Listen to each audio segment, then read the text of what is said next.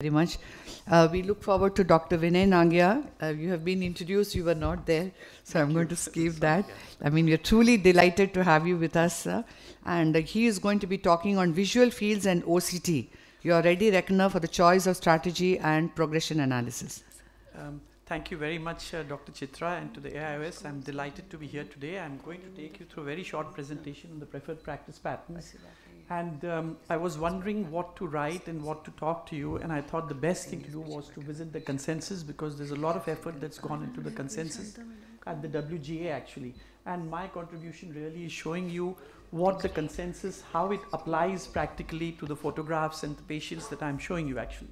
So the clinical diagnosis of glaucoma is based on the detection of a thin retinal nerve fiber layer and a narrowed neuroretinal rim. And the thin retinal nerve fiber layer and neuroretinal rim are the current day gold standards actually. So the diagnosis of glaucoma does not always require the detection of visual field defects and that's just what we were discussing with regard to the pre-perimetric glaucoma. But perimetry is indispensable for documentation and monitoring of functional decline in glaucoma. So you can see here that this is a retinal nerve fiber layer defect that you know, correlates with the retinal nerve fiber layer here.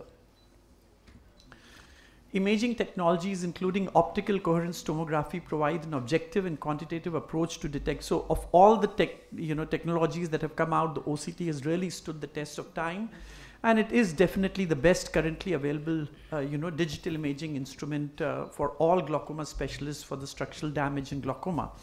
And RNFL thickness is the most clinically helpful parameter of the ones currently available with OCT and um, again, you can see here the large patch, the broad patch of wedge here, retinal nerve fiber layer defect, and this, you know, large wedge uh, in the retinal nerve fiber layer that you can see here.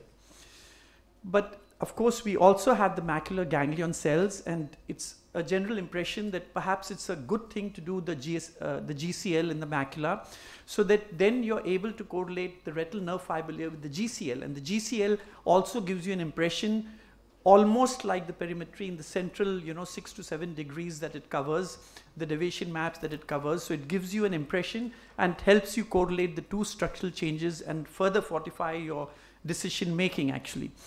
But there are many pitfalls of OCT and one of the most important is artifacts and false segmentation. And you know, this is a patient where really the retinal nerve fiber layer has bottomed out and so you'll get segmentation errors and you will not be able to follow up. So this is the time when you say the retinal nerve fiber layer is unlikely to be, you know, significantly helpful to you. The second photograph is that of a, uh, of a ganglion cell uh, deviation map and uh, the difficulty here is because of the structure of the fovea, you know, the central area, which is not supposed to have ganglion cells, has expanded a little bit. So that's got something to do with the foveal characteristics, the dimensions of the fovea, and then that causes difficulty in assessing uh, the deviation map actually. That is something that we should remember. In myopic eyes also we have difficulty with the retinal nerve fiber layer and you can see this photograph of a high myope with significant uh, retinoschisis, which is not uncommon in high myopic eyes. And then, of course, the segmentation is not going to be regular, and therefore, you have difficulty with these patients actually. As far as the visual fields are concerned, we know, and, and my colleague uh, Dr. Suhasini has covered, that they should be reliable, defects should be reproducible and consistent with structural optic nerve damage. And the glaucoma hemifield test, the pattern standard deviation, these are all important for uh, the diagnosis of glaucoma. Standard white on white perimetry is fine and you should do a central 24 degrees field or a 30 degrees field and you should use the 10-2 strategy uh, and I will just come to you about uh, the 10-2. This is the 12 degree visual field that we that we use on our octopus machine and you can see uh, that this is just a central area and, and it gives you an impression of how close the visual field loss has gone to the center of the fovea. And that's the importance actually. So this is again a 12 degree field and a 30 degree field. And this this tells you that when you do a 12 degree you're concentrating more on the central part of the macula and the importance is that we know that we're worried about the patient not losing central vision. We also know that about 50 to 60% retinal nerve fiber layer loss has already happened in patients that come to us with glaucoma uh, in our clinics.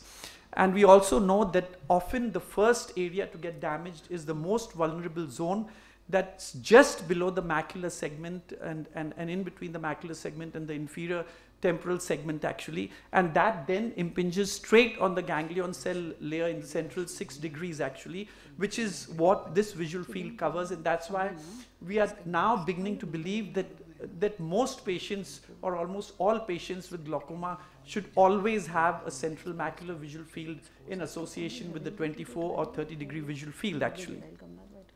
So with current technology, detection of structural defects generally precedes detectable functional defects in glaucoma. And you know, of course, this is not a classical example of that, but just for structure functional correlation, you can see the optic disc damage correlating with the retinal nerve fiber layer notch. And this is the ganglion cell layer, and you can see how closely it has come to the fovea. This is the deviation map actually. And then again at the 12 degree, you can see how vividly it captures the, the loss of visual field and how close it is to the fovea versus the 30 degree field that you see here actually. And this is a patient that I had when we done multiple retinal nerve fiber layer values over a long period of time and you get this regression here that shows you how the deterioration of the retinal nerve fiber layer has taken place. But every time that you do a retinal nerve fiber layer, please make sure that the segmentation, because the segmentation can change, you know, from one test to other actually. Therefore, we will always look at the retinal nerve fiber layer here like this actually. And uh, this is the Hood's report. I'm sure many of you know about it. It's, it's very, very, I think, important just to understand what this is all about. And uh, I may take just, maybe this is the last slide actually. So what it does is instead of having the nasal fibers here, it brings the macular fibers center. And that's very important actually because you need to see the macular fibers because you're worried about the macular fibers because they serve central vision and uh, it's also very important that uh, that uh, you know this is the uh, ganglion cell loss. This is the deviation map. So it flips the retina actually.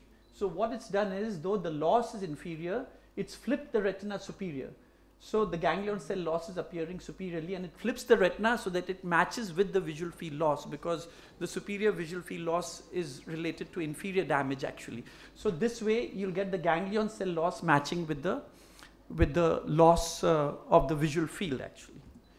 So they may uh, preferred practice patterns may differ depending on the patient and the practice and this is just a basic guideline that helps you meet the needs of appropriate treatment. Thank you so much. Thank you very much. Uh, thank you very much, doctor. I mean, you made it so. I think, as far as glaucoma is concerned, that six minutes is a, I something. It'll always be there. So the one question I would want our next. Manoj Agarwal wants to ask a question. Yeah. Yes. So would you recommend doing a 10 test to field for almost every glaucoma patient along with the 24 test? We have started doing that. Dr. Shanta. We should start doing that also. I, I believe that it is very important because often in what we consider to be early glaucoma, what we consider to be early glaucoma may have nothing to do with the closeness of the damage to the fovea actually. These are two separate things actually. So the closeness of the glaucomatous damage, initial glaucomatous damage to the fovea is what is very important to detect. And to really get a vivid picture that, you know, we're, we're getting so close to the fovea. That is what should define how we're going to set the target pressure and how we're going to treat the patient actually. Use it for regular follow-up also, every time. Yes, always actually. I would want one question. Thank you very much, doctor. I would want Dr. Mayuri to answer ask this uh, answer this question. Between GPA and OVR overview, which would you rank better and why? GPA I prefer to do Uh, because it has both event-based analysis as well as trend-based analysis. yes, So it should be used uh, as a ru- routine. as a routine. yes, And that's why in the first follow-up only, I do two at least two baselines, Uh, correct baselines, both for visual field as well as the imaging. And then subsequently, if we can do faster, six fields in two years may be difficult in private practice, but try to get as many as you can.